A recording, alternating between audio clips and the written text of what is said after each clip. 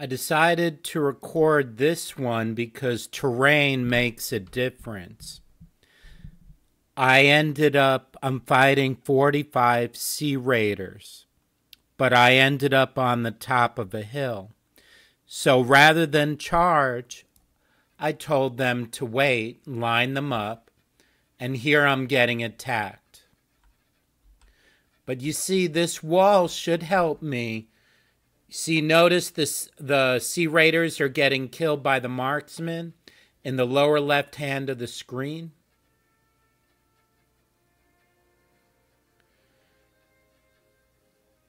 So there's 45 of them.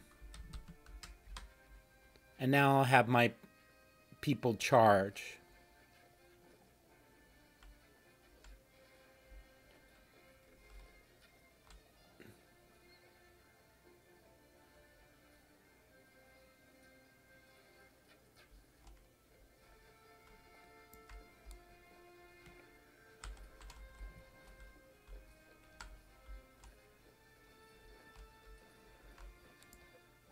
Now, I'm doing F1, F1 to hold this position because I don't want them running down.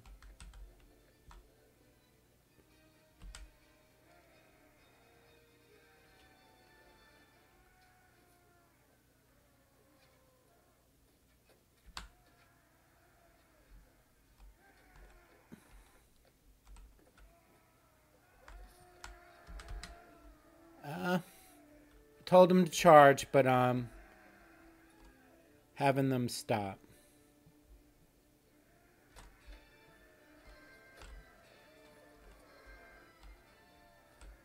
Uh, there's the next wave coming down there.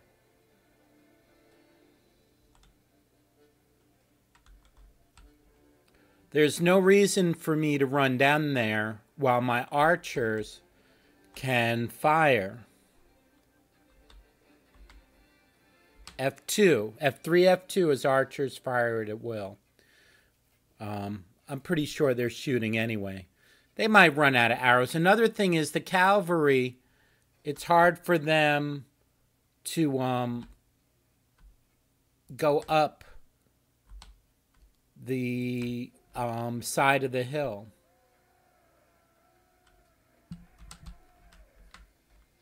And I'll have them charge.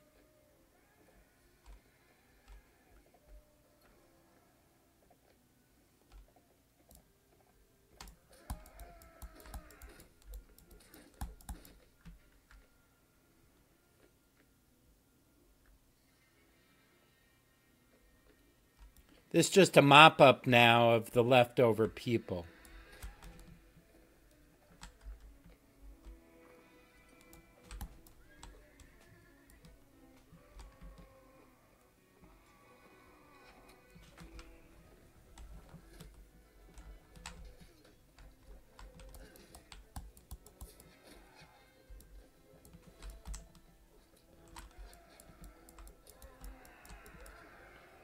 And that's it. I just wanted you to see the the terrain. Um, and actually, if we look at the, I got two renown and eight morale. I'm using 88 troops here. I'll show you the messages. Let me just grab this. Trying to keep the videos most of the Mount & Blade videos are kind of long. I'm trying to keep this somewhat short. On the notes, okay, let's go back a little bit here. Now we got one, two, three, four, five, six, seven, eight, nine, ten, eleven.